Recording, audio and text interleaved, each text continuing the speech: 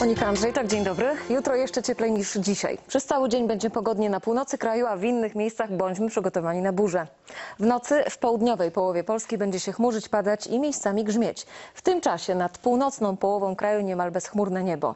Najchłodniej na północnym wschodzie, najcieplej na Śląsku. Wiatr tylko w czasie burz porywisty. Jutro słoneczna pogoda najdłużej się utrzyma na północy Polski. Poza tym też sporo słońca, ale w ciągu dnia będą się rozwijały deszczowo-burzowe chmury. Opady mogą być intensywne, niewykluczony nawet grad, a porywy wiatru do 75 km na godzinę. Nieco poniżej 20 stopni tylko nad Bałtykiem, a wysoko w górach około 10. Poza tym bardzo ciepło.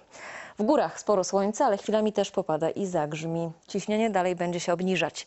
W czwartek też ciepło, miejscami wręcz gorąco. Chmury ominą Roztocze i Podkarpacie. Poza tym w wielu miejscach nadal przelotnie popada i będą przechodzić burze, niektóre gwałtowne. Poza burzami mocniej powieje na północy kraju i w górach. W piątek na zachodzie bez deszczu, ale dużo chłodniej, 16-18 stopni, a nad morzem jeszcze zimniej. W innych regionach słońce, deszcz i burze, ale i tam zacznie się robić chłodniej. To jednak nie będzie długo trwało ochłodzenie, bo w weekend znów ma być słonecznie i ciepło, jednak tu i tam zagrzmi. Do zobaczenia.